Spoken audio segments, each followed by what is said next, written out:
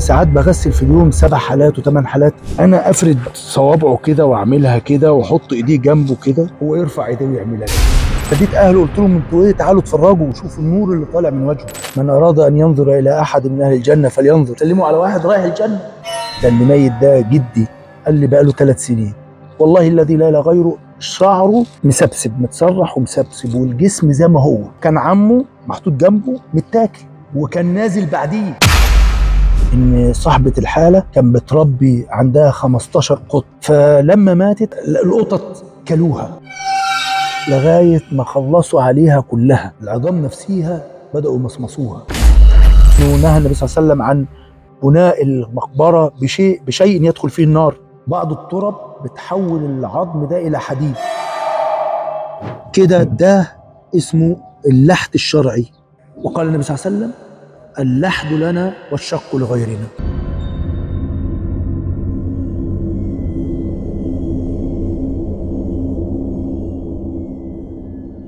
الميت اللي انت بتغسله انت مأمور شرعا انك انت تكون رحيم بيه وحنين عليه لأنه يستشعر بكل حاجة. لما تيجي تغسل الميت الطبيعي انت بتقدر تستحمل المية دافية يبقى تدفي المية زي ما انت بتحب المية تكون دافية برضه دفي المية للميت.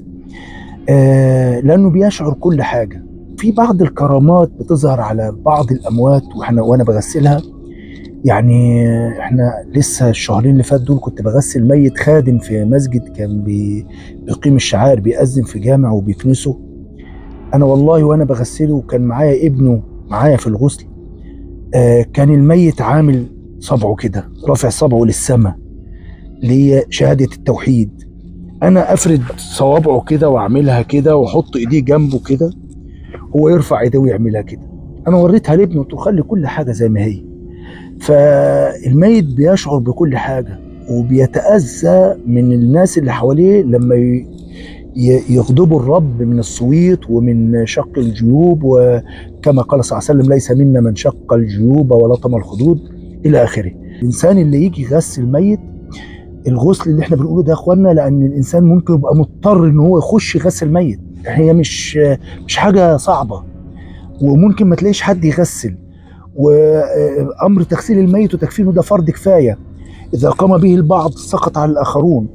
فطب ما قامش بيه حد. يقسم جميع القرية اللي, اللي فيها الميت جميع الشارع جميع البرج أو العمارة اللي فيها الميت ميت. سهل جدا إن هو يغسل وسهل جدا إن هو حتى لو هيجيب ال live ويتفرج على الفيديو live يعمل زي ما موجود في الفيديو وكده غسل وكده الأمر شرعي اتم والحمد لله رب العالمين. ويبدأ يحط في الخشب ويبدأ يروح يصلي الجنازة ويبدأ يروح يدفنه في المقابر. لو الميت موصي إذا جاء أجلي فمحدش يعمل علي ما يغضب الله من صويت ونحاب وشق الجيوب وخلافه يبقى كده هو براءة. طب هو مش موصي يلحقه طبعا الاسم والوزر لأنه مفترض إنه يعلم أهله الدين. إحنا دنيا مطالبين في الدنيا نلم الميت ونستره ونوديه لمثواه الأخير. طبعا الحالات الحرجة دي مننا هنا في القاهرة غير الارياف آه بتبقى يعني آه الناس غالبا يعني ما حدش بيسأل عن حد. قال يا ويلتى عجزت أن أكون مثل هذا الغراب فأواري سوءة أخي. فالله جل وعلا سماها سوءة لأن حال الميت بعد تاني يوم وتالت يوم ورابع يوم من وفاته تسوء الحي. حاله وهو بيتحلل حاله وهو الدود يبدأ ياكله حاجة حاجة منظر يسوء الحي لا يرضي الحي. لا اخفيك الحقيقة إن أهل الميت ما بيقدروش يقفوا جنب الميت من الريحة ومن المنظر. أنا بخش أنا والمساعد بتاعي بنظف زي ما قلت لحضرتك وبظبط المكان خالص وبنظف كل اللي جايب كل مصدر الريحة الكريهة دي بنضفه بالتدول وجميع أنواع المطهرات آه المنظفات. وبعد كده ببدأ أغسله أعمم الجسم بالماء. والأصل عندنا في الشرع أن الغسل الأصل فيه تعميم الجسد بالماء. سواء بقى وضيت أو ما وضيتش خليك أنت عممت شغلت الخرطوم والحنفية زي ما بيحصل في المشرحة ورحت معمم الجسد كله بالماء. خلاص. كده أنت كده الغسل تحقق. طهرت من تحت ونظفت من تحت خلاص الغسل تحقق. والاصل عندنا في الكفن السترة. طب الكفن ثلاث طبقات طبقة واحدة مش هتفرق. طب خليك معكش كفن. موجود في بيت. جبت كبرتة ولفته كبرته وربطتها في حاجة باينة منه؟ لا خلاص اتكفن ولكن النبي صلى الله عليه وسلم وصى بالثوب الأبيض. وصى بالثياب ووصى بالبيض من الثياب وقال بها وقال كفنوا قال صلى الله عليه وسلم كفنوا بها موتاكم. برضه كان معانا حالة حرجة في مستشفى السلام الدولي كان عنده أعزكم الله سرطان في الجلد. فكان آه، جلده كله مليان قيح ومليان صديد كله. ادوا حقن كيماوي بالزياده الجلد كله اتحرق. والله الذي لا لا غيره وأنا بغسله أنا حاسس إن في نور خارج مع انه وجهه كله مليان قيح وصديد و... وقرح. إن في نور خارج من وجهه وتذكرت سيدنا أيوب وأيوب إذ نادى ربه أني مسني الضر وأنت أرحم الراحمين. استجبنا له ونجيناه من الغم. وكذلك ننجي المؤمنين. اهله قلت لهم أنتوا إيه؟ تعالوا اتفرجوا وشوفوا النور اللي طالع من وجهه. فبتحصل بعض الكرامات لينا. والله أنا بقالب متصدر لهذا المشهد منذ عشر سنوات. أنا شغال حنوتي ومغسل أموات الآن دي السنة العاشرة. أه لم أشاهد ميت يتحرك إلا اللي أنا لسه حكيته لكم دلوقتي اللي هو بيرفع السبابة بالتوحيد. سألتني أنت بتغسل كام حالة؟ ما أقدرش أقول لك. يعني أنا عشر سنين غالبا غالبا في اليوم حالة أو اتنين. فاحسبها أنت مع نفسك. أنا ما أقدرش أحدد وما أقدرش أقول أنا غسلت كام حالة.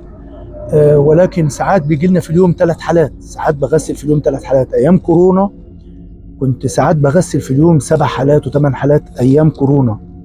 أه الله يقول لن يصيبنا إلا ما كتب الله لنا. أنا باخد احتياطاتي زي ما أنتم شايفين كده بلبس جوانتي بلبس مريالة وبتقي الله في شغلي و كل كل لن يصيبنا إلا ما كتب الله لنا. سواء الحالة عندها كورونا سواء الحالة عندها مرض معدي أو ما شابه ذلك الحفظ والستر من عند الله. إحنا دلوقتي بننقل رفات بعض المقابر اللي بيفضوها علشان خدوا مقابر أخرى جديدة فبناخد العظم ننقله. إحنا بنشيل إحنا بنجيب عبارة عن كفن جديد لو الميت لسه الهيكل العظمي متماسك ونحطه في كفن جديد وبنشيله ونحطه في الخشبة. طيب بقى له 30 سنة و20 سنة بنشيل حوالي خمس ست ميتين في شكارة قد كده ونربطها. كلهم عظام ما تبقى من العظام. بعد بعد ما اتكلت. والقبر الشرعي بحفر بحفر بحفر 2 متر الأرض وباجي في الجنب بعمل شق كده في الجنب في الجنب. بدخل فيه الميت على جنبه اليمين وبحط بلاط كده مجاديل من الحجارة وبهيل التراب عليه. يبقى كده الميت تحت الأرض ب 2 متر ونص. كده ده اسمه اللحد الشرعي. وقال النبي صلى الله عليه وسلم اللحد لنا والشق لغيرنا. نهى النبي صلى الله عليه وسلم عن بناء المقبرة بشيء بشيء يدخل فيه النار سواء طوب دخل به النار أو سواء حديد وأسمنت. ولكن بتبقى الضرورات تبيح المحظورات. آه بالنسبة للجسد بعد الوفاة آه بياخد ما يعادل لو لو لو ما حد جه جنبه أو لو إحنا غسلناه وظبطناه ونزلناه في المقبرة بياخد أربع خمس أيام عبال ما يتحلل. كل ما كتمنا التربة شرعا كل ما كتمنا التربة عليه أكتر وحافظنا إن ما يخرجش ريحة لأن دي سوءة برضه نحافظ عليها. كل ما كان ده لمصلحة الأحياء والأموات. طيب أول شيء بيبدأ يتحلل أو يتاكل أو يهلك في جسم الإنسان العين ثم الفرج أو الأعضاء التناسلية ثم البطن. بطبيعة الإنسان كلنا الأحياء عندنا دود صغير هو ده الدود اللي بياكل الإنسان لما بيموت. الإنسان لما يخش المقبرة إحنا عشان نجيب تصريح نقل رفات بناخده من مكتب الصحة أو من النيابة بعد ست أشهر. رسميا بعد ست أشهر بناء الوفاة لأن ست أشهر بيكون خلاص لم يتبقى إلا العظام فقط إلا الهيكل العظمي فقط. الهيكل العظمي ده حسب التربة إذا كان لحد شرعي ممكن لا يتبقى منه أحد. دخلت تربة عشان بدفن برضه في سيدة عيشة هنا أهو. فوجئت إن الميت أنا بسأل صاحب التربة اللي هو صاحب الأمانة اللي جايبينها بقول له ده مين؟ قال لي ده اللي ميت ده جدي. فبقول له بقاله قد إيه؟ قال لي بقاله ثلاث سنين. والله الذي لا اله غيره شعره مسبسب متسرح ومسبسب والجسم زي ما هو. هو ده اللي إحنا بنقول التربة الشرعية أولى. فأنا قلت له ساعتها خليك كل انت دفنت فيه خمسة ستة وكلهم زي كده ما تحللوش. طيب ده وضعه إيه؟ ده وضعه عند ربنا. خلوهم ما تحللوش. لا يجوز إن أنا نبش القبر ولا يجوز إن أنا أفتح القبر على ميت لأن ده مستور بحاله. سواء الجثة اتحللت سواء ما اتحللش ما اتحللتش ده مستور بحاله. فجينا حطينا الميت التاني جنبه علما إن اللي قبليه اللي هو كان عمه محطوط جنبه متاكل وخلصان ما عادش فيها العظام فقط. وكان نازل بعديه ده بقى له ثلاث سنين وده بقى له سنتين. فنزلنا الجثة اللي جنب الثانية وحطيناها جنبه. إحنا بننقل من الحياة الدنيا إلى الحياة البرزخ والحياة البرزخ ده قبر مقفول في علم الغيب.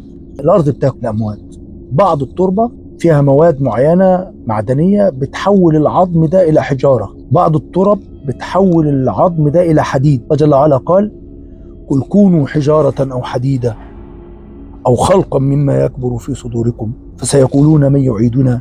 قل الذي أنشأكم أول مرة أو الذي خلقكم أول مرة. الله أعلم. بالنسبة للأطفال الموتى أطفال المسلمين أنا أما أجي اغسل طفل طبعا أنا بغسل كتير بس اللي يؤثر فيها الأطفال. لما تيجي تغسل طفل أنت بتغسل واحد مية من مية في المية من أهل الجنة. لم يرتكب معصية قط ولم يجري عليه القلم الحساب. فكنت أغسل وأقول لأهله من أراد أن ينظر إلى أحد من أهل الجنة فلينظر سلموا عليه سلموا على واحد رايح الجنة. أما أطفال المشركين دول إلى عرسات يوم القيامة. والله يا أخي أنت بت... وأنت بتغسله بتحس إنك أنت بتغسل واحد نايم مش ميت. بنفس البراءة بتاعت الأطفال. هو بيبقى معاك بنفس البراءة وبنفس النظرة اللي هي متجمدة لا هي حزن ولا هي فرح. وبصراحة اما أجي أغسل يعني أنا غسل كبير عادي. باجي عند الطفل قلبي بي بتعب يعني. والله من أصعب المواقف عليا بعض المواقف كده يعني آه ذكرتني بيها. آه كان في حالة متوفية في فيلا في المعادي. بعض الأهالي جم بعد شهرين من وفاة الحالة والحالة ما طلعتش ليها ريحة ولا طلع لها أي حاجة لسبب إن صاحبة الحالة كان بتربي عندها 15 قط. 15 قط ولف يعني وعيالها في أمريكا مش موجودين هنا في مصر.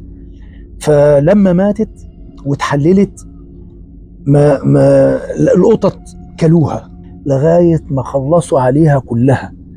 لم يتبقى إلا العظام فقط. العظام نفسها بدأوا يمصمصوها. لغاية ما عدت واحدة من أحد الأقارب فشافت المنظر اتصلت بالمباحث. آه أنا دوري رحنا لمينا العظام حطيناها في كيس ونزلناها التربة. وساعتها وصيت إن أي حد يكون عنده حد من الأقارب كبير في السن إنه يرعاه بالاتصال على الأقل. مرة في اليوم مرتين في ثلاثة في الأسبوع.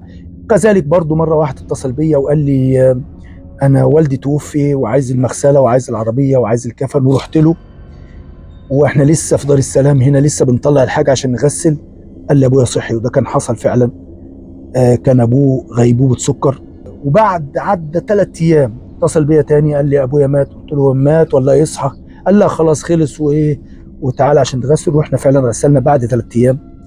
آه وبتحصل بعض المواقف كده وفي مواقف طبعا أنا ما أقدرش أحك عنها أو ابيح بيها آه لما فيها من سر وستر يعني. فإذا كان آه من أهل الجنة فروح وريحان ورب غير غضبان ويقول يا رب أقم الساعة يا رب أقم الساعة.